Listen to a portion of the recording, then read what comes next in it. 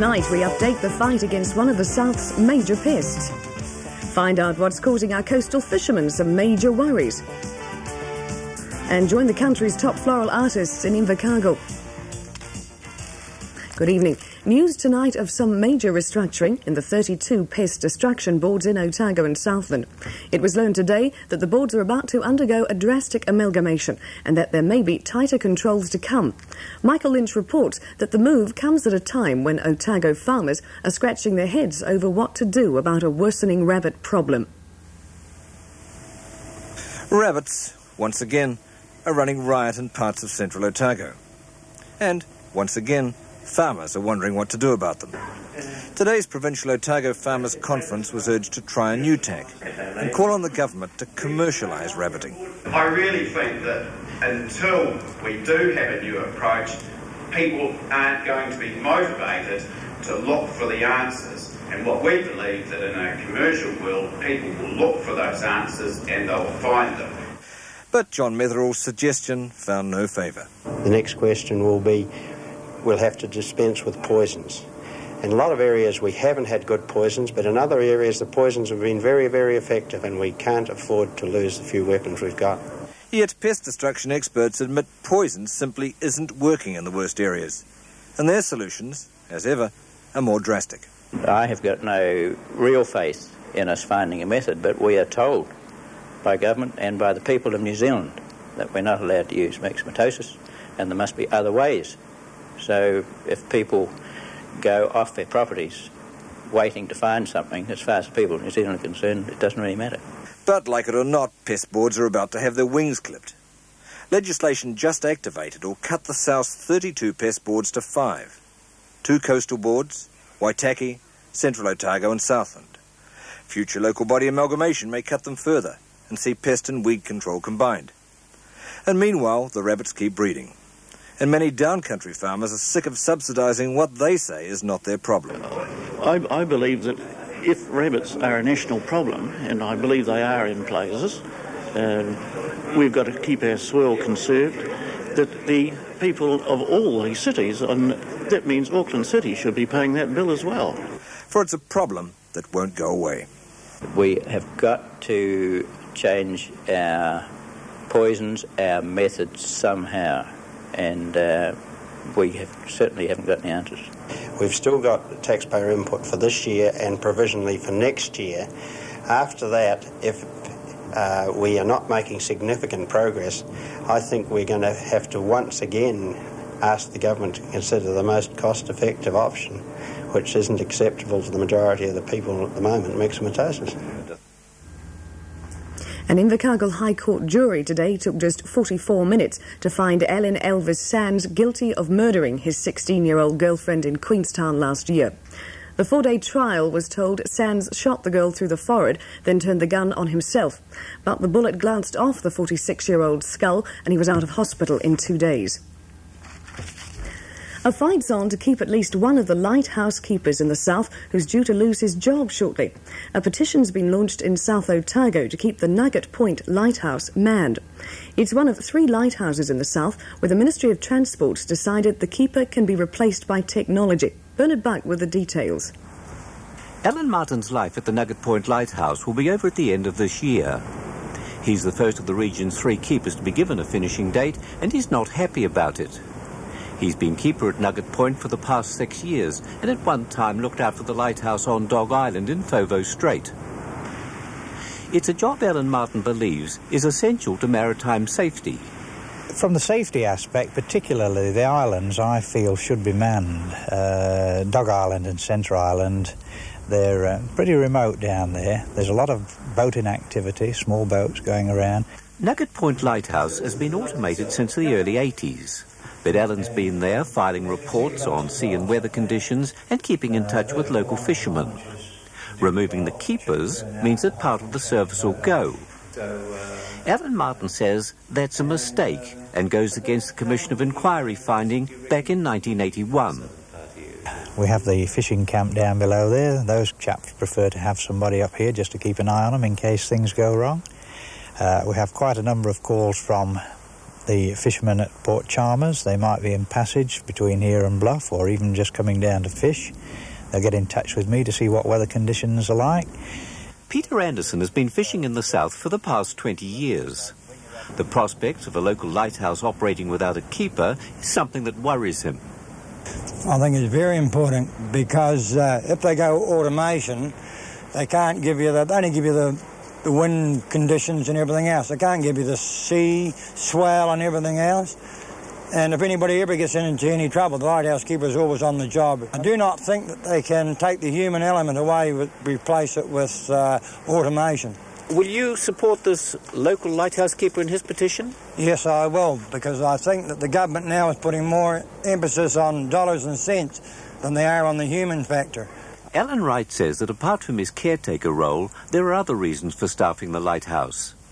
He says throughout the year it's visited by schools and nature groups who need to be shown over the place. His only hope now is that the petition will strongly reflect local support and perhaps persuade the government to change its mind. The Otago Law Society is still at odds with its national body. At a meeting today, the local branch expressed pleasure that an out-of-pocket couple featured recently on Fair Go have received their money in a settlement funded by Broadbank. The Otago lawyers say they acknowledge the part played in this by the society, but have asked local members for contributions because they believe the couple still haven't been fully compensated. Elderly residents at Kelvin Heights, the retirement suburb of Queenstown, are up in arms about possible residential development on a 30 hectare recreation reserve. To complicate matters further, as Michael Lynch reports, the reserve's smack in the middle of a possible future route to the new Queenstown airport. Kelvin Heights has become quite the place to retire to over the last 20 years. But the grandparents living here aren't just sitting back and letting life roll by.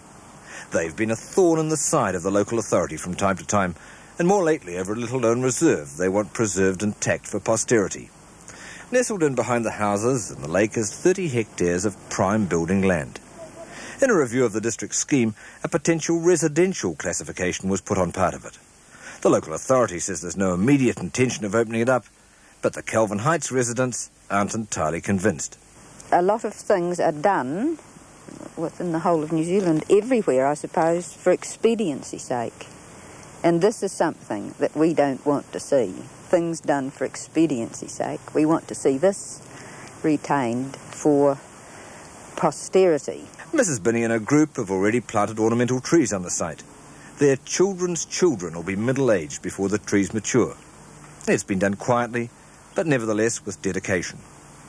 And complicating all this is the proposed site for the new Queenstown Airport, right at the lake edge of the Remarkables Valley. The ultimate route to the airport could involve a bridge or a tunnel from Queenstown to Kelvin Heights and then on through the reserve. There's been a lot of talk there about bridges across there, a lot of uh, controversy uh, uh, about it. I think a lot of people would go off like a cracker.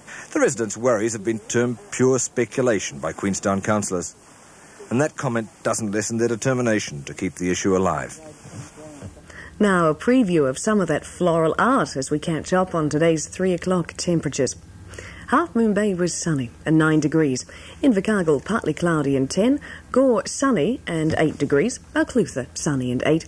Dunedin fine and 11 degrees. Palmerston sunny and the high today of 12. Oamaru sunny and 11. Kurow clear and 9, Ranfurly fine and 5, Queenstown fine, the low of 2 degrees today, Wanaka fine and 5, and Alexandra fine but also sharing that low with Queenstown of 2 degrees, Te Anau sunny and 6. And the expected highs for tomorrow are Dunedin 11 and in Invercargill 9 degrees. The Oamaru Public Library is the first in the South Island where a borrower can use a computer to find a book. The long rows of dusty drawers holding index cards have gone, and as George Burke discovered, even someone of minimum intelligence can use the new system. The library has more than 45,000 books and other items on its shelves, and details of these have been programmed into computers which are available to the public.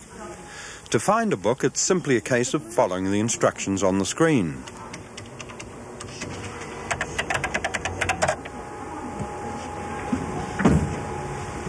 You don't even have to know the name of the book or the author, as the computer will make a search of the catalogue once it's been given a keyword such as a subtitle or subject.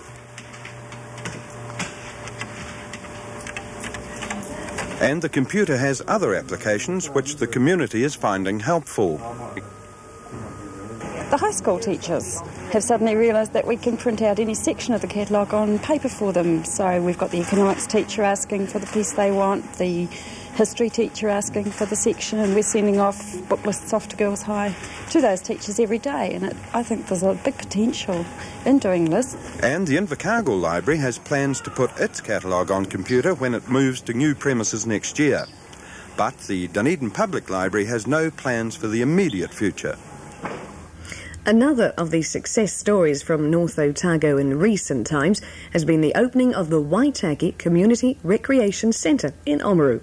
It's being fully utilised by sports and leisure groups and was the ideal venue for a huge Chinese banquet held during the recent Whitestone Chinese Festival. Here's George again. The $1.5 million complex has been open since the beginning of the year, and its use has gradually built up. It's shared with neighbours Waitaki Girls High School who use the gymnasium. There's an enormous amount of room for all indoor sports like badminton, basketball, weight training, and, believe it or not, mountaineering. The indoor rock faces are popular in the off season. Aerobics classes are popular too.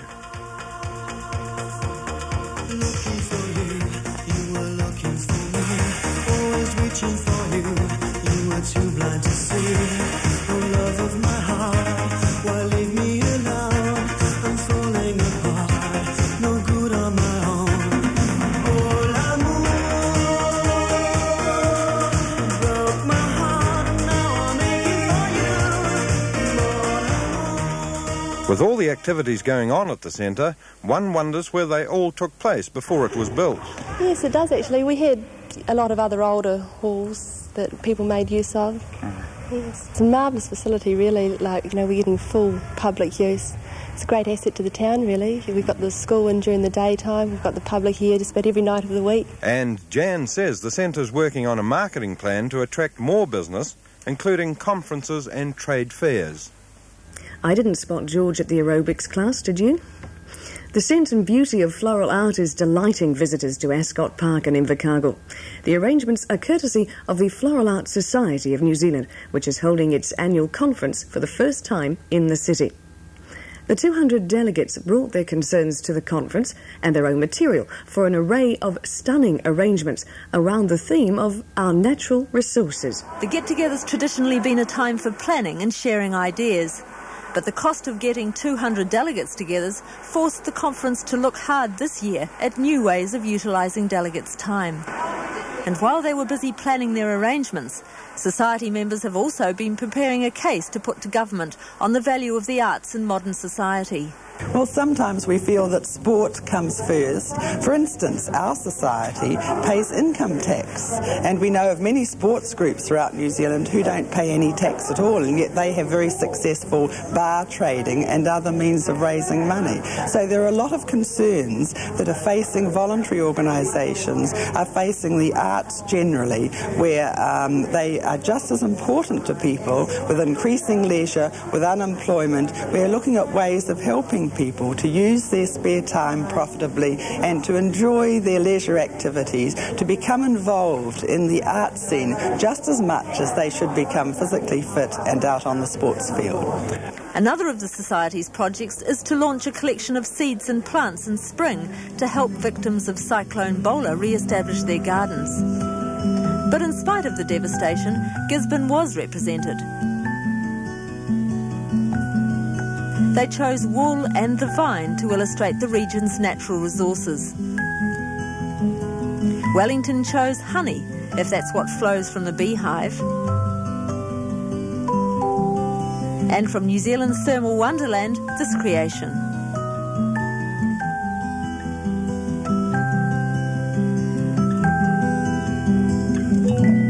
Nelson Marlborough artists took salt as the inspiration for their piece.